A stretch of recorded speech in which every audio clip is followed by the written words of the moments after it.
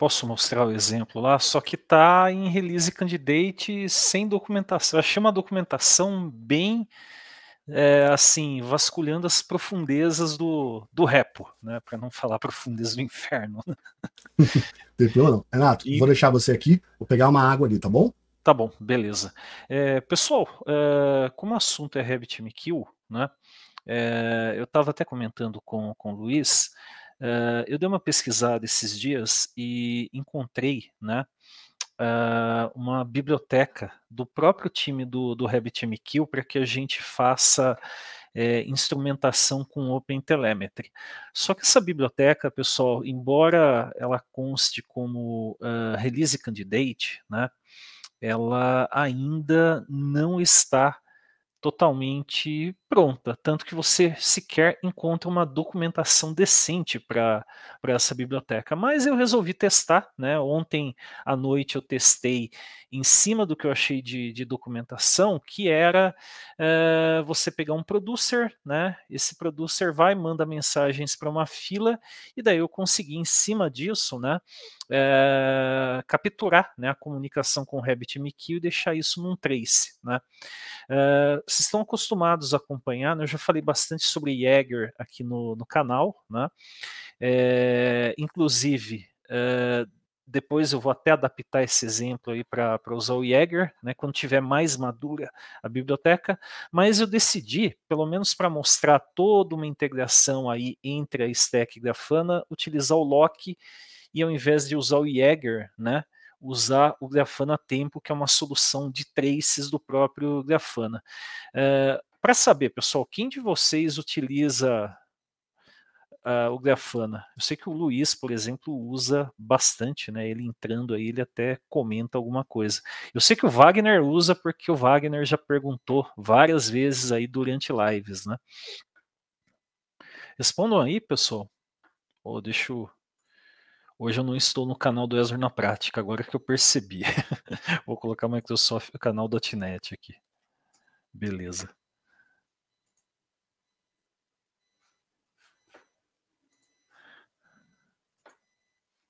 Respondam aí, pessoal, quem está tá acompanhando aí, só para a gente saber, né?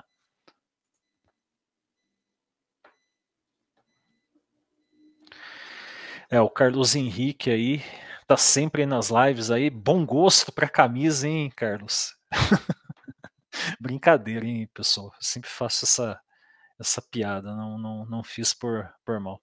Mas enfim, é, a gente assim, o Grafana é muito utilizado nas empresas e a gente já comentou em outras lives, né? Por que usar o Grafana? Mesmo que você seja um desenvolvedor, você tem é, conexão com quase todo tipo de solução de monitoramento, integração com N tecnologias, e você tem tudo isso é, num, numa visualização unificada, né?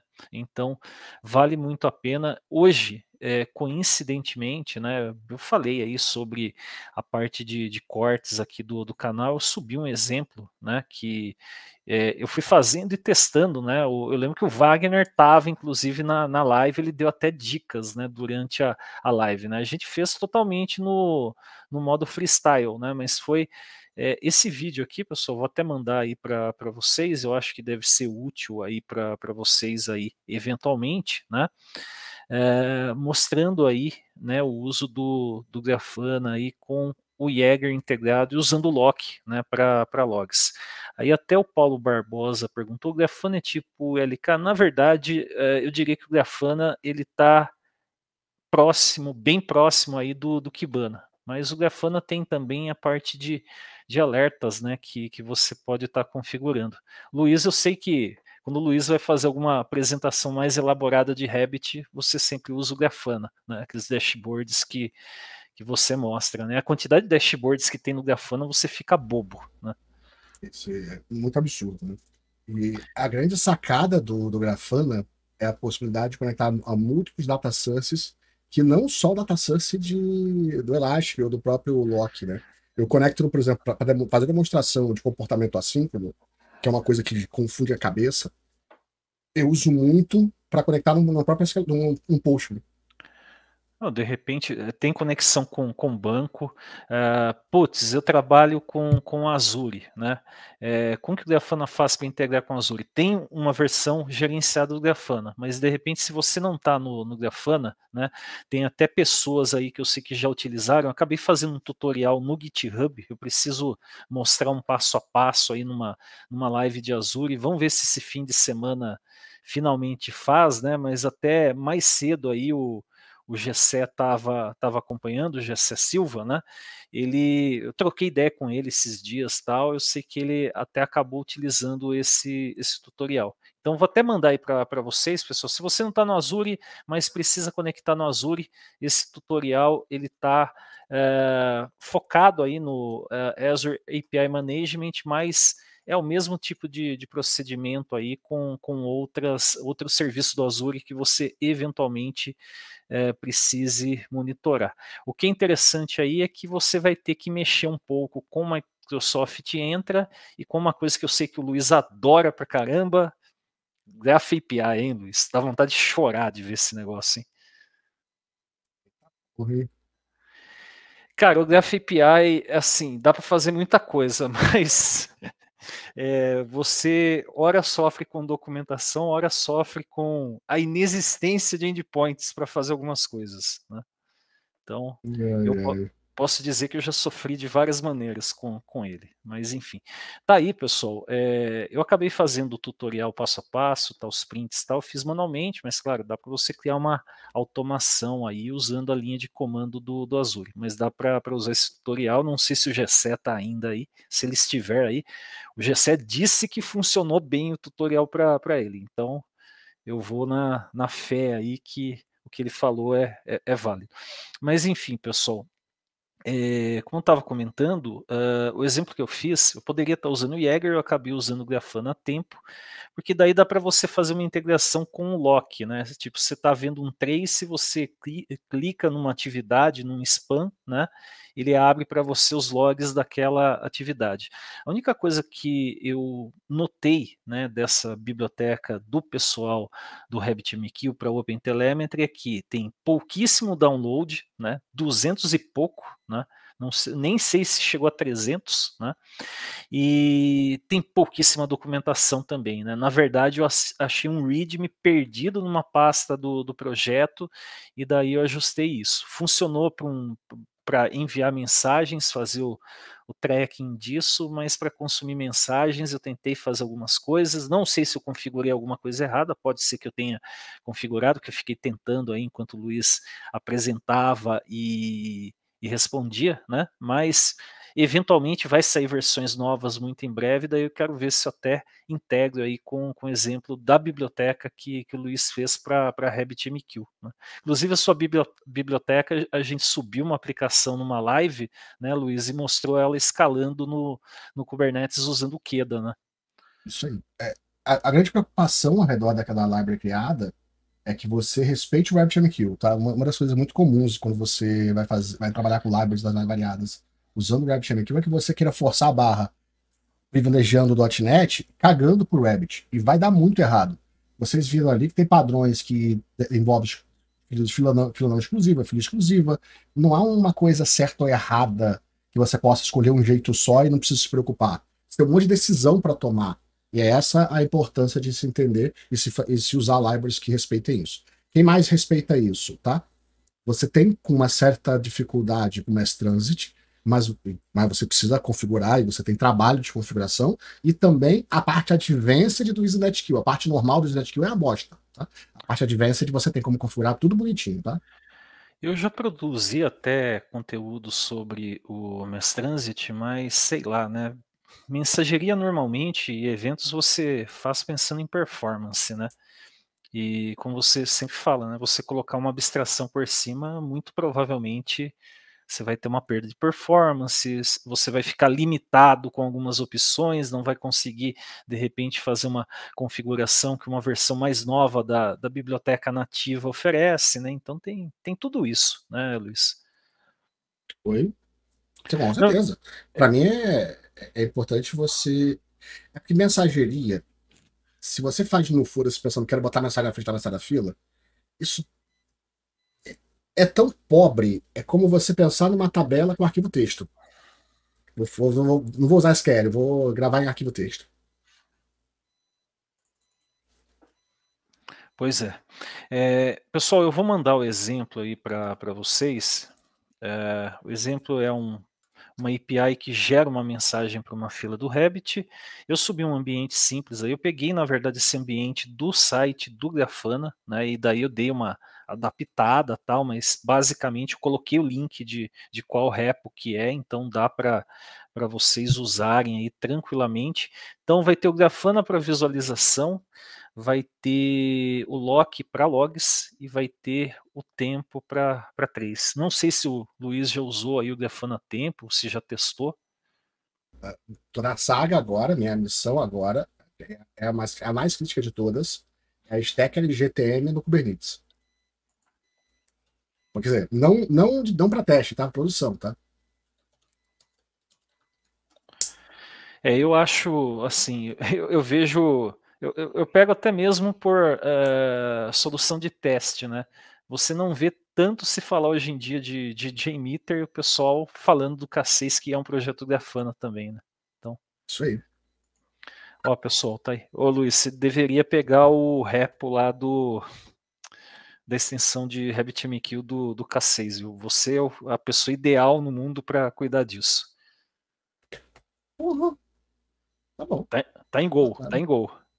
Ah, aí sacanagem, pô. Fazer, fazer .NET. É, aí, aí ferrou, né? Mas dá para de repente criar alguma ferramenta em .NET, hein? Ó, pessoal, tá o exemplo aí. Quem puder dar um star aí, eu agradeço. Tá aí o, o tutorialzinho aí para integrar fora uh, do Azure, o Grafana com o Azure, né? É, deixa eu mostrar aqui. Eu vou deixar a tela cheia, até porque fica, acho que até mais fácil aí para para a galera visualizar, porque vai ter um dashboard do lado do outro, tal, né? É, tá bem simples, eu quero evoluir isso daí usando inclusive a biblioteca, né, que o, que o Luiz criou. Deixa eu colocar aqui tela cheia aqui. Não, beleza. Então tá aqui, pessoal. É, tá aqui o tutorial que eu falei, então até fiz um desenho aqui do que eu precisava integrar. Foi uma POC, né? Então eu rodei o Grafana de um, de um container, né? Provavelmente você faria isso no Grafana Cloud ou até mesmo é, em outra nuvem. De repente você tem uma coisa na AWS, mas precisa ter um Grafana lá na AWS, você precisa ver isso é, que vem aí do, do Azure. Né? Então, basicamente, o que, que acaba acontecendo? Né? O Grafana vai ler coisas do Application Insights, do Log Analytics e do Azure Monitor, que na verdade é a soma desses dois aqui. Você vai ter uma app registration, vai ter que dar permissões específicas e maravilha. Né? Daí aqui eu coloco, né, olha, quando você criar a app registration, é, eu não sei se o Luiz se pergunta, mas eu me pergunto sempre, né? Tudo que você cria de app registration no Entra, no antigo Azure AD, e no Azure AD B2C, você tem que marcar essas duas flags. Então, por que ter essas duas flags, né, Luiz? Pra você saber, cara. É pra não, você saber que vocês. É, é, você percebe não. justamente a primeira vez que não funciona. Não, tudo bem, mas vamos lá. Tem até a ver com o fluxo que você vai usar, porque você Sim, pode usar. Você acaba você usando usar os dois, fluxo. né? Access token e ID tokens, né? Dependendo, um caso muito específico, pode ser que você só trate ID token, de repente um login de, de tela, né? Mas enfim. Posso contar é, a gambiarra? Conte, ué. Vai que eu preciso fazer essa gambiarra um dia, né? C não tem client. C não tem client pro Entra. Você teve que fazer tudo via chamada em, é, em REST, né? É. Bota um proxy na frente, vai, vai vendo todos os requests de uma aplicação normal e, re, e mimetiza isso, né? Replica isso no, no, no C++. Sim. É. Quer dizer, qual, qual é o problema? Vai dar merda um dia. Sabemos que o dia que mudar, gente não vai receber update nenhum. É. A, ainda não mudou, tanto que você pega muita coisa, o nome tá como Azure AD, né? Mas Sim. um dia vai mudar. O dia que mudar é. Sente e chora, né? Vai parar um monte e, de coisa, né? E qual é a sacada? No mesmo projeto, você deixa o projeto .NET para ele quebrar. É. Então, quando quebrar no .NET, você tem certeza que está na hora de mudar também a implantação, entendeu? Sim. Aí você acerta no .NET e refaz o trabalho de corno de instrumentar o fluxo. Show de bola. É, pessoal, aqui estão as permissões, então uh, eu coloquei aqui uma série de permissões. Pelo que eu me lembro, que vem aqui de permissão default é essa offline access e essa OpenID, né? Que a gente até pegou e marcou aqueles flags lá e acabou configurando isso. Mas você precisa adicionar aqui essas outras permissões, você precisa dar o data read aqui do log analytics e precisa colocar aqui também o user impersonation, né? Porque você vai estar tá fora do Azure simulando aí um usuário, então foi necessário fazer isso. Como que você descobriu isso? Algumas coisas estavam em documentação, outras coisas estavam em momentos de desespero que alguém comentou nas entrelinhas lá no Stack Overflow. Então, ChatGPT não conseguiu trazer tudo isso, não. Teve que ler documentação e, e, pesquisar, beleza? E daí a gente tem aqui também aonde fica o seu recurso, né? É, você vai precisar dar essas permissões aqui, ó, essas roles, na verdade, né?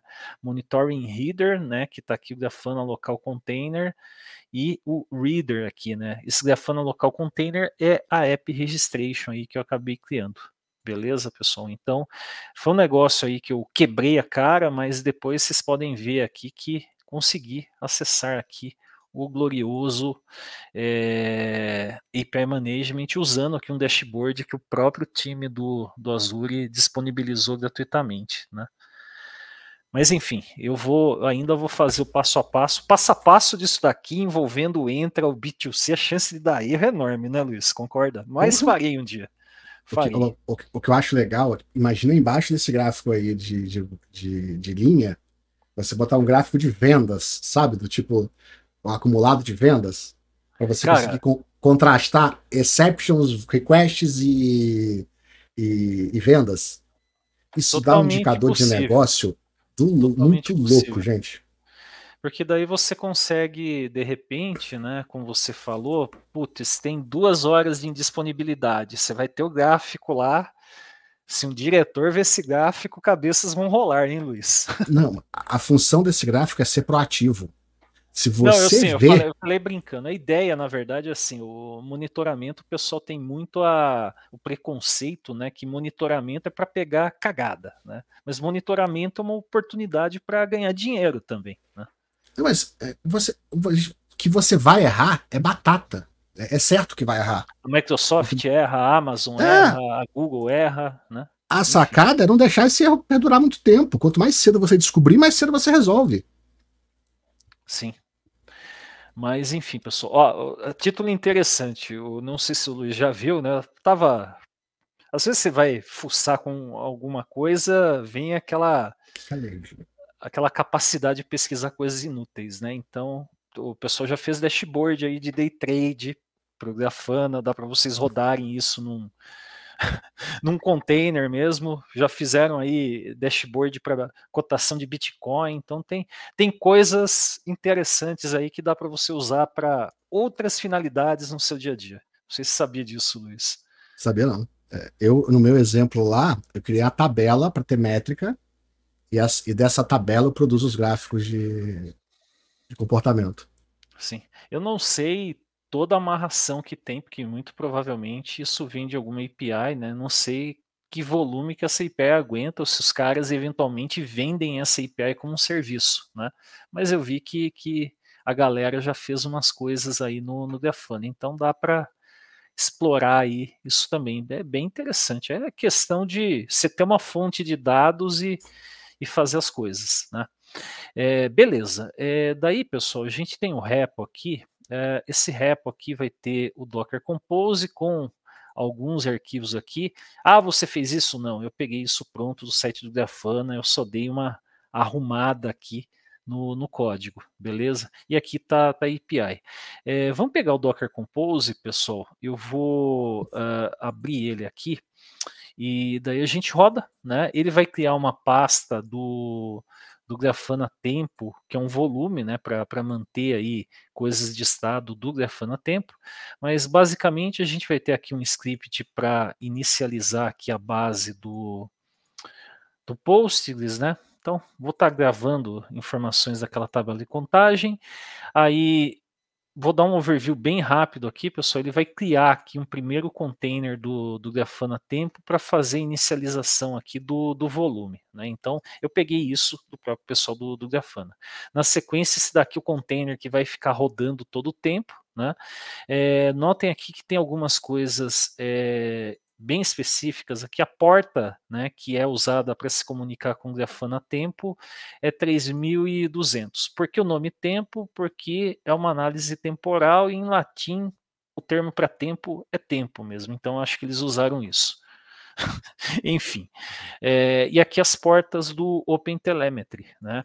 Uh, se você usar aí uma versão mais nova de OpenTelemetry com uh, um runtime aí mais novo de .NET, ele já vai estar tá na 4317 usando o gRPC. Se pegar uma aplicação legada, muito provavelmente você vai trabalhar aí com, com a porta 4318. Aí tinha aqui as portas do Jäger e do, do Zipkin, eu deixei comentado porque eu não vou utilizar isso, mas daria para vocês, ah, eu quero usar o Jäger aqui, dá para adaptar aqui, claro, né, descomentar essa porta.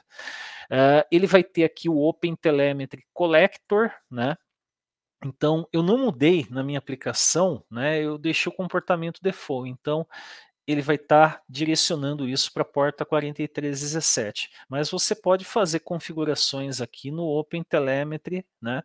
Eu coloquei aqui, olha, para usar o tempo com a porta 4317, né? O OpenTelemetry Collector, você poderia direcionar isso, ao invés do tempo, direcionar isso para um container aí, para um ambiente aí do, do Jaeger, né? Então, é, daria para você fazer isso. Não confundam OTLP aqui, pessoal, que é o protocolo utilizado pelo OpenTelemetry com OLTP, que é banco de dados relacional, grosseiramente falando. OTLP é Open Telemetry Protocol, beleza? Protocolo aí que é usado pelo, pelo OpenTelemetry, beleza? Deixa eu voltar aqui, peraí, beleza? Aí a gente vai ter aqui o Prometheus, né? Ele depende aí do, do Prometheus para coletar métricas, tal. Quer falar alguma coisa, Luiz? No LGTM, quem dá lugar ao Prometheus é o Mimir. É o Mimir, é, que Mimir é uma é um solução do, do Grafana também. É, Mimir é, um, é, uma, é, uma, é quase uma extensão em cima do Prometheus, né? Só que para métricas de longa duração, tá?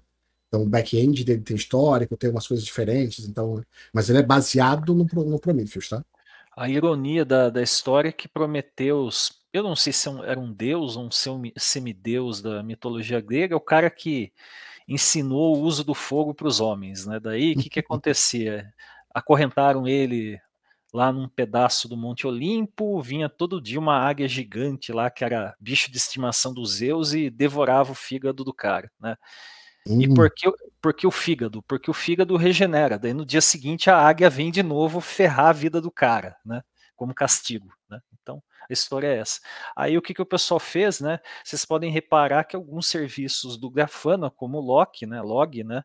É, tem nome de deuses nórdicos, né? Então Mimir é um deus nórdico. Eu descobri. eu falei, mas que porra de termo que é esse, né? Eu falei, o que é Mimir, né? Eu pesquisei, falei, ah, é o nome de um deus nórdico. Ah, tem Loki também, então acho que o pessoal do Grafana prefere deuses nórdicos, né? É isso aí. Luiz. Enfim, momento cultura inútil. É, vai ter aqui o Grafana Loki, a porta do Loki é a 3100, né? É, vai ter o Prontail, que é um agente aqui para processar logs aqui do Grafana Loki, né?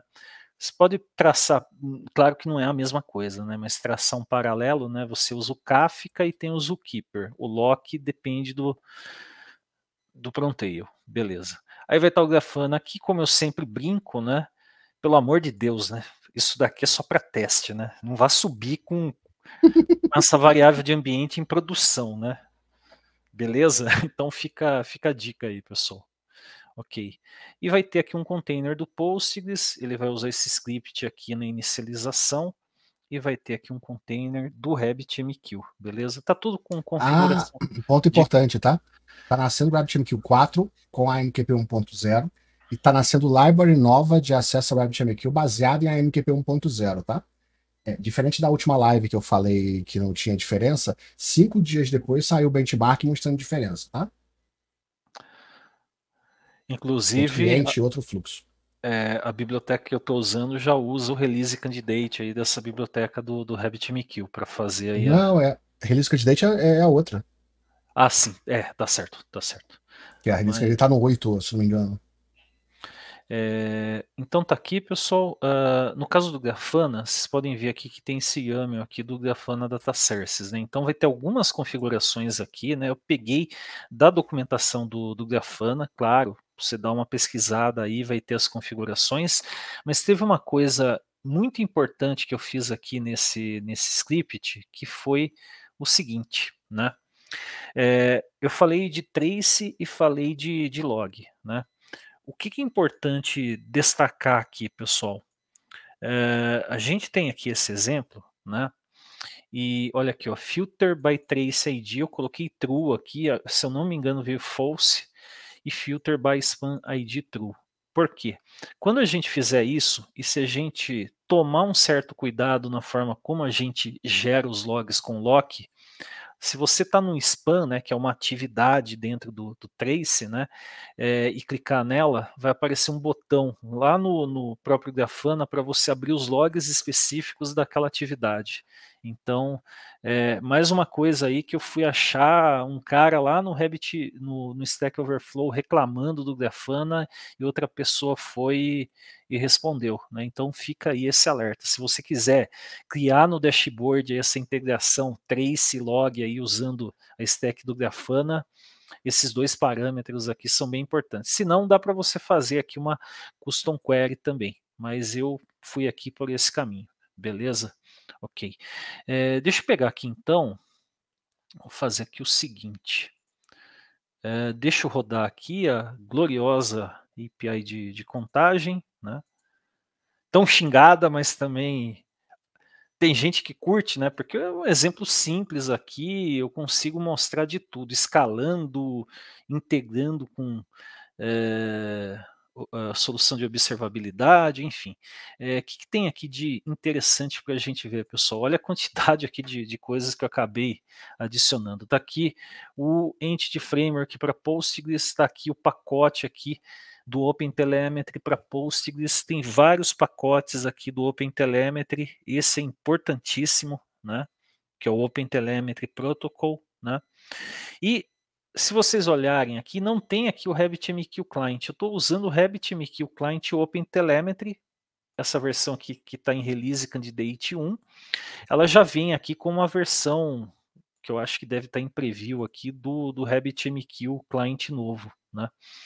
E daí, se eu fosse usar a versão estável do RabbitMQ, não ia funcionar aqui com é, esse pacote aqui para OpenTelemetry. Então, deixei vinha o que está configurado como dependência aqui desse pacote para conseguir fazer aí a, a instrumentação. É, do Serilog, pessoal, tem. Você vai falar, ah, vou fazer um negócio com lock aqui, beleza. Claro, você vai ter que pegar o sync aqui para lock. Mas isso daqui, pessoal, aquela configuração que, que eu mostrei aqui para vocês, ela depende, no caso de .NET, desse enricher aqui de, de spam. Ele vai colocar justamente o trace ID e o spam ID. Isso daqui não é gerado automaticamente quando você configura o lock aqui na, na sua aplicação. Beleza? Respondendo, Renato. Oi. O WebChainQ Client 7.0 Release Candidate 1. Ah, beleza.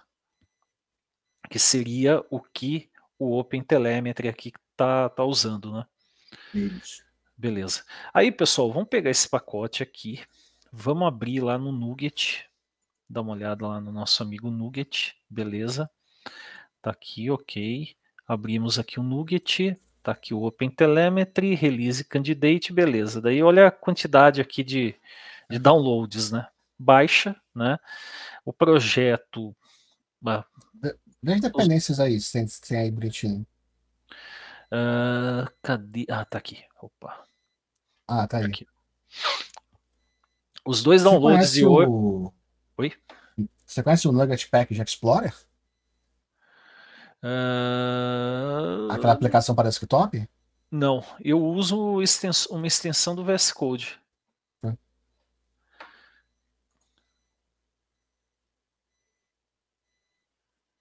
Ele vai baixar aqui, será?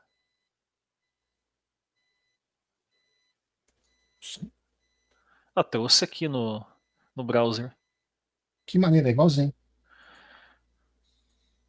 A dependência tá diferente, não. Tá, mas é, é igual, é parecido. Ah, mas é interessante, eu não conhecia aqui, eu vi aqui, eu nunca clicava, né? Mas dá para a gente dar uma Eu- navegada. É, é essa a interface no desktop, entendeu? Sim. Eu uso muito para remudança de library. A, a biblioteca mudou, quero ver o que quero olhar dentro dela. Show. Ajuda pra caceta. Eu acabo, em muitos casos, olhando na própria interface aí do, do Visual Studio, né? Mas dá para, você não precisa abrir o projeto, né? Você usa isso já e, e boa, né? Ah, Uhum. show, show de bola. Tem as dependências aqui, pessoal, como a gente viu, né? Então, Olha, é, eu acho que até vale a pena. Se, você não tinha usado aqui no, no browser, né, Luiz? Não, nunca. Nem sabia que tinha aí. É, então isso daqui a gente vai acabar gerando um corte aí, porque pode ser útil aí pra, pra galera, né? Eu acho que vale a pena fazer uma live só de ferramenta, cara. Só de, sim, só de ferramentinhas. sim, dá, tem muita coisa. Uma ferramenta que eu uso direto, que eu mostro para todo mundo, é aquela .NET Outdated. Aquela ferramenta é, não Maneiro. sei se você já usou, aquela que Não. você roda Eu na já, vi, linha de já vi você usando. É, ela consegue pegar, falar, olha, tem package, tem vulnerabilidade aqui e tal, e ajuda demais. Tem, tem muita ferramenta boa, é isso, isso é legal, demais. Ah, vamos ver de, de fazer a live aí, então. É, pessoal, então tá aqui dois downloads por dia, coisa e tal, né? Dos dois downloads de hoje fui eu que cumpri a cota. É, Não, um fui eu. ah, então foi eu e você. É, enfim. Que eu baixei aqui no, no, no Cashback Explorer. É, pessoal, o que, que vai acontecer aqui? Vamos dar uma olhada aqui no, no código. Eu procurei aqui, pessoal, é, colocar as referências, né? documentação do OpenTelemetry, como integrar o OpenTelemetry com Jaeger e Grafana Tempo em .NET. Então tá aqui, eu peguei aqui, né? Eu tive que, que pesquisar, né? Daí, putz, está falando aqui do, do nosso amigo Jaeger. É quase a mesma coisa, pessoal. Então eu usei isso como base, mas daí eu mostrei aqui, né, como fazer isso com .NET. É, que que acontece? Eu já tinha mostrado em lives anteriores, isso em tese ainda é válido, né? É, putz, eu não vou usar ainda esse pacote que está muito incipiente, não dá para mudar a biblioteca do Rabbit também, que não está estabilizado. É, você pode pegar aqui esse exemplo que eu fiz, tem um link lá, né? E o que, que, acontece? Eu, eu, tive aí um certo trabalho, né? É, eu peguei aí o exemplo deles, né? É, vocês podem ver aqui, né? Tá adicionando aqui instrumentação do OpenTelemetry, mas o trabalho chato que foi preciso fazer foi o seguinte. É, eu tive que usar aqui o, o, conceito de context propagator, né? Então foi usado isso daqui, pessoal. Tem toda a implementação aqui. Então você tem que é, criar aqui uma atividade, daí você tem que adicionar aqui o contexto dela, dar um inject aqui, isso daqui vai adicionar todas essas propriedades como parte do header da mensagem no RabbitMQ. Aí aqui eu fiz um negócio aqui para pegar o trace e jogar como propriedade do header, né? Na verdade eu peguei, né? Eu fiz algumas adequações aqui, mas eu peguei um exemplo mais antigo do OpenTelemetry, né? Então, putz, dá aí umas 40, 50 linhas de código só para conseguir instrumentar aí o uso de mensageria, né? Beleza. Aí o que, que a gente pode fazer aqui agora, pessoal? Se vocês olharem, né, eu tive que isso daqui é da documentação do RabbitMQ. Aí olha que, que coisa irônica, né? Se a gente for no Nugget aqui, você vai falar, ah, tá aqui o source repository, né? Vai ter a documentação aqui é o, é o repo aqui da, da biblioteca. Né? Daí você fala, putz, mas onde achar alguma coisa aqui descrevendo isso? Daí eu comecei a fuçar, olhei aqui, estava em projects, daí tem um readme aqui, é, bem limitado, né, falando, olha, você tem que criar o Composite Text Map Propagator, é, setar ele aqui no startup da aplicação e chamar o Edge RabbitMQ Instrumentation. Tem aqui o equivalente para console, só que eu não eu consegui fazer essa instrumentação, né, gerando mensagens para a fila, mas não deu muito certo consumindo. Eu vou tentar dar uma uh, revisada aí depois, mas fica aí para uma live futura e provavelmente numa live futura essa biblioteca vai ter evoluído mais, beleza? Mas enfim, tá aqui, beleza? Eu usei isso. É, vamos olhar aqui o código, né? Então tá aqui o Composite Text Map Propagator, né? Posso contar uma coisa feia que eu faço? Uh, fale. Eu, vou, eu, vira e mexe, eu, eu acho essas implementações lá dos, da implementação do eShop on Containers. Por quê? Como é, é tudo Microsoft em geral, você de lá consegue pegar a galera conversando sobre boas práticas com outros projetos, entendeu? Sim. A, a interpretação deles é risível, beleza, entendo. Mas pegar dali a parte de tracing, hum, me chamou a atenção que é legalzinho, entendeu? Sim. Legal. É, daí aqui, pessoal, primeira coisa, né? Eu vou configurar aqui para a aplicação Serilog, né? Vou pedir para escrever no console e vou pedir para direcionar os logs aqui para o lock. Então vou passar aqui o localhost, se eu não me engano é 3100 a porta do, do lock. Isso daqui mesmo, 3100. Beleza. E aqui um ponto importantíssimo, pessoal. Esse using database, até perguntaram hoje no, no corte que eu subi, por que, que você colocou isso? Coloquei isso só para mostrar que dava para colocar. Né? É, você pode colocar aqui, lock label, na verdade, é um dicionário. Aqui você pode colocar o atributo que for. Só que o service name, pessoal, escrever exatamente assim, minúsculo, service underline name, é fundamental para que é, consiga identificar e amarrar o log com, com o trace, beleza? E outra coisa fundamental é esse enrich with spam, né, que eu estou pedindo aqui para incluir aqui essas informações que é just, vai ter justamente lá a parte de trace ID, span ID para a gente conseguir trabalhar, beleza? Ele vai dar um create logger aqui, maravilha, vai adicionar aqui o, o entity para trabalhar com Postgres e daí aqui a gente configura o OpenTelemetry, né? Como eu estou partindo do uso de portas default, não passei nada diferente aqui. Ele vai exportar para texto, então pode ser útil para você tentar observar ou às vezes até acompanhar um pod, alguma coisa, ver o que está exportando para texto e tentar fazer um troubleshooting. Add RabbitMQ Instrumentation, instrumentação do ASP.NET Core, e aqui eu estou passando o Service Name e o Service Version. Então, por isso que é importante, né, pessoal, o Service Name aqui, claro que tem que bater com esse service name, beleza? Aí, ok, coisas típicas de uma API. Sa sabe o que eu tô para abrir issue na Microsoft? O quê? Service name e service version ser ser uma implementação da Microsoft. É, seria bom, né? Eu acabei é assim. criando aí uma é, biblioteca é, para fazer sentido. isso. Então? Faz sentido. Uma, uma classe, né? Faz sentido, né? Sim. Mas, Mas porque eu acho que é, pois é. Não, o construtor de library podia fazer isso, entendeu? É assumir que, vai, que, pode vir de lá ou você altera. É, porque daí dá para usar, de repente, até a parte Source Generator para simplificar isso. Né? Sei lá. Pode ser. Uma possibilidade.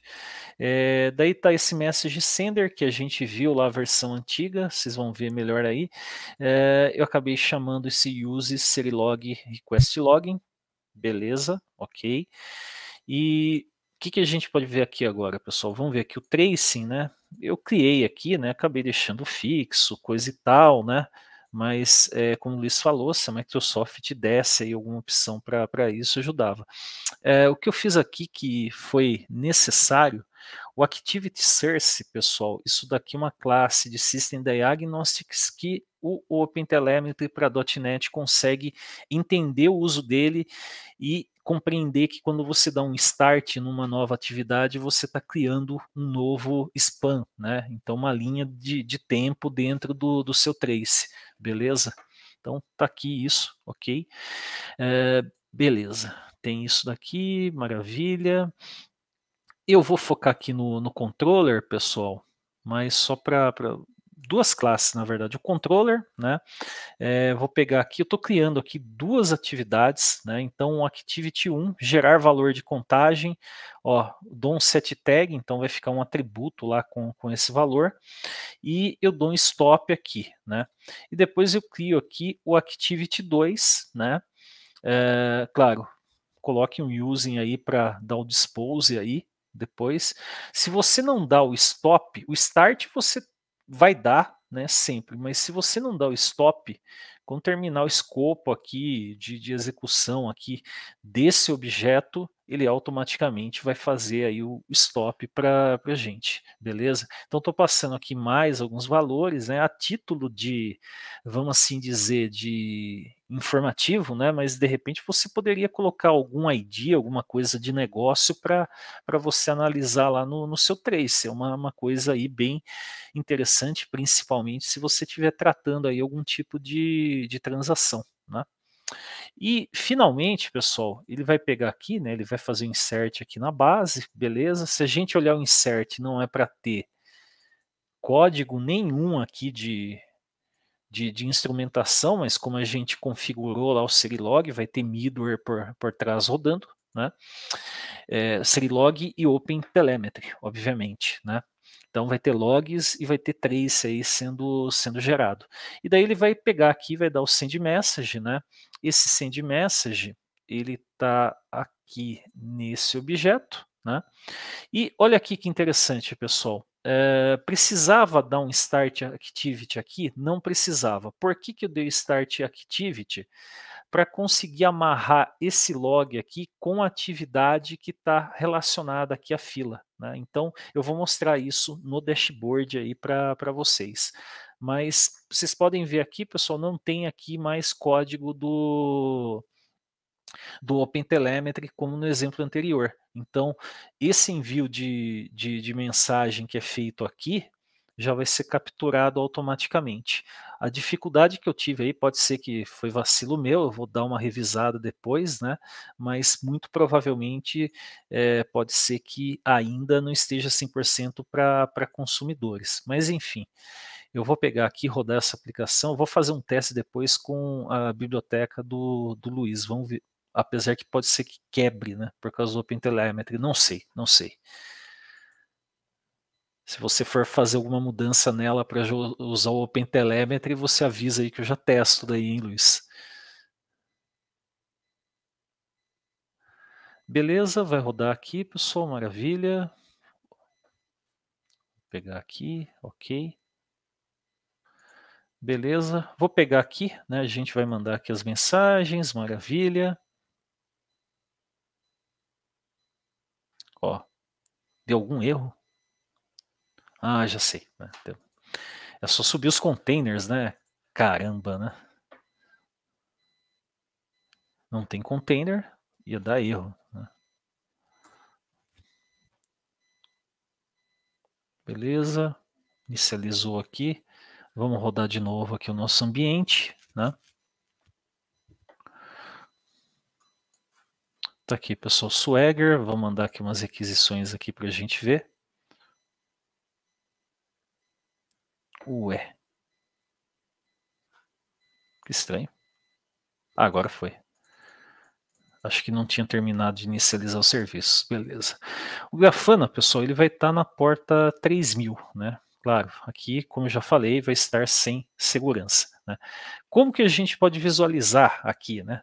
A gente pode ver aqui direto em Explore, né? E ele vai ter aqui as fontes de dados aqui, putz, deu vira e mexe dá algum bugzinho assim, às vezes com o Visual Studio. Vou rodar aqui é, pelo, pela linha de comando mesmo. Meu Visual Studio já deve estar tá cansado essa altura do, do dia também, né?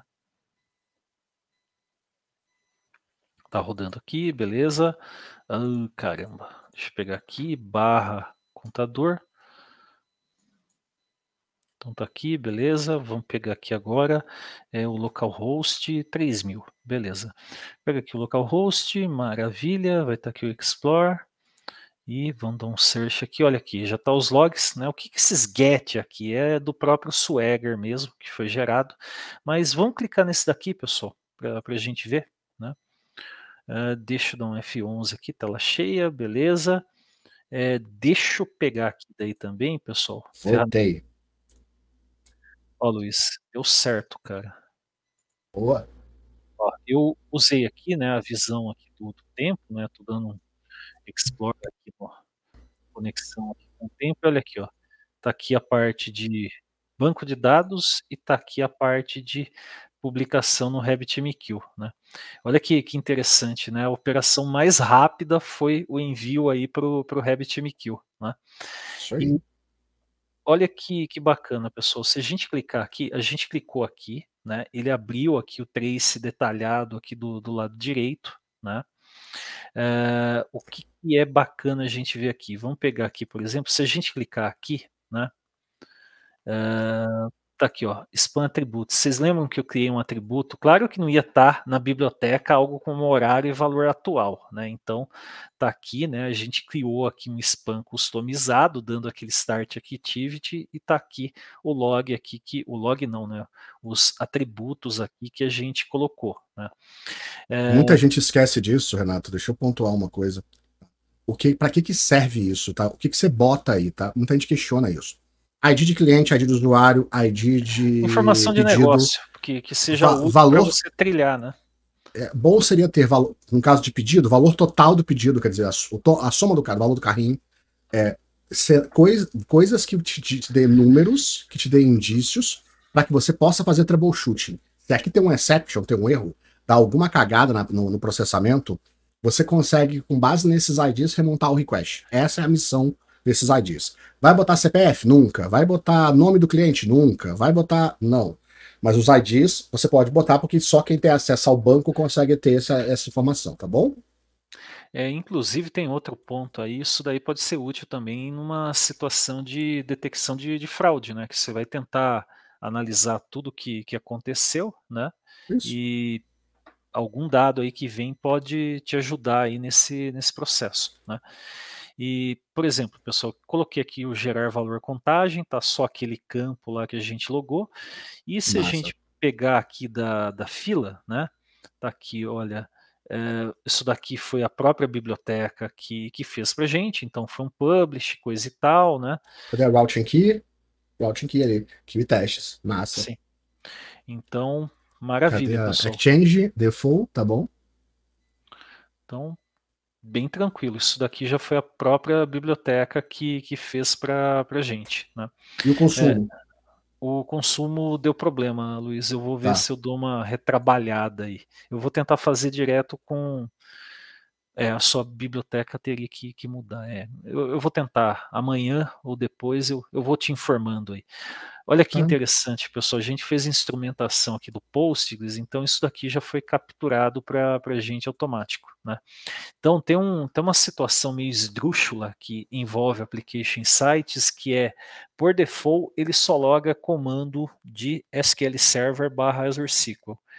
Eu não lembro, eu preciso dar uma revisada, mas as últimas vezes que eu pesquisei não tinha isso ainda, você tinha que dar uma volta lá para conseguir instrumentar Postgres ou MySQL. Se alguém aí que está assistindo a live aí eh, chegou a tentar ver alguma coisa com, com Postgres aí ou MySQL, viu que já está fazendo, até responda aí no, no chat, que daí até vou dar uma olhada esses dias, pessoal. Mas enfim, é, essas bibliotecas de OpenTelemetry, putz, eu estou usando Redis aqui, estou usando MySQL, estou usando Oracle, SQL Server, Postgres, ela captura tudo, pessoal. Então, para você saber o que está sendo feito, aqui nesse caso foi usado o Entity Framework para fazer isso. Então, ele dá um insert e dá um returning ID. Por quê? Para ele devolver no objeto, objeto que você adicionou no context e salvou, você já devolveu o ID desse, desse objeto, ok? Beleza. Então tá aqui, maravilha. É, daí eu falei de logs, né? Vamos pegar aqui o negócio que a gente fez aqui, né? Ó, logs for this spam, né? A gente deu esse send message fila, né? O uh, que que acontece? Se a gente olhar aqui, vamos pegar essa classe aqui mesmo, olha aqui, ó. A gente está mandando aqui, ó, envio para fila papapá, né? Vamos dar uma olhada aqui, se a gente clicar, olha aqui, ó, tá aqui, só tem essa mensagem de log, né, dentro dessa, dessa atividade, mas é, vocês podem ver aqui, ó, RabbitMQ envio para fila tal concluído, né. A gente pode, eventualmente, vamos pegar aqui, né, a gente começou, vamos, deixa eu parar aqui a aplicação, a gente testa de novo, ó, tá aqui, envio para fila, beleza, inicio a atividade aqui, Vamos pegar aqui, a gente copia isso, cria uma segunda mensagem para vocês verem a, a, utilidade dessa, desse recurso, né? Iniciando envio para fila. Deixa eu apagar isso daqui. Puxar aqui para baixo, depois do que o name aqui, para a gente depois eu comito isso daqui para vocês. Beleza, está aqui, ok. Vamos rodar aqui de novo a aplicação. Aqui, pessoal, ele gera essa instrumentação em modo texto. Claro, né? aqui para você conseguir visualizar o que seria um trace, é pegando aqui o trace ID e tal, né? Dá um certo trabalho, né? Mas de repente você conecta num, num pod, está analisando os logs, pode ser útil também essa, essa representação em modo texto aqui do, do OpenTelemetry. Ok? Meu conselho é transformar esse feature flag e usar isso via configuração. É, porque assim, tem, vai ter custo, né? De, de, de gerar isso, né? E dá para você, de repente, ativar num troubleshooting e depois desativar, né? É. Vamos rodar aqui, oremos. Vamos pegar aqui agora. Não, é para dar certo isso daqui, pelo menos eu, eu tenho ciência que, que é para passar. Vamos pegar aqui, tá aqui isso, beleza, barra contador, ok.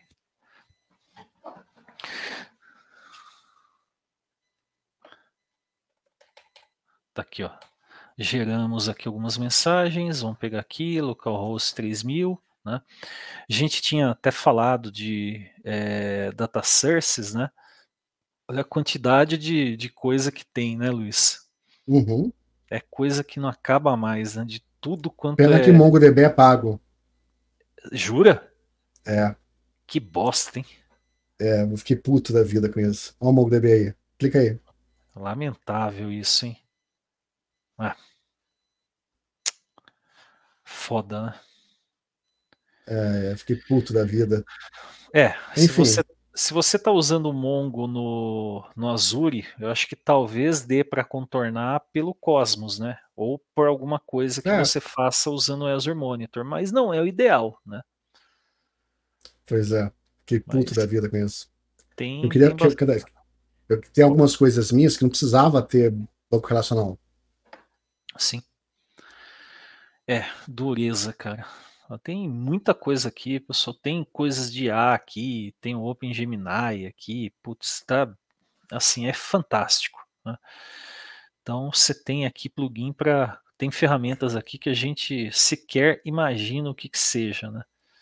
Eu analiso meu faturamento por ele, tá? Meu gráfico de faturamento um... tá no Grafana. É, então. É, olha, olha para o banco puxo. Eu, eu, eu, falei de, eu falei de dinheiro aí, pessoal. O, o, Luiz já teve a mesma ideia. O Luiz só não criou aí o, o dashboard dele aí para analisar os milhões de reais que entram todo ah, mês. Ah, milhões. Né? Entendi.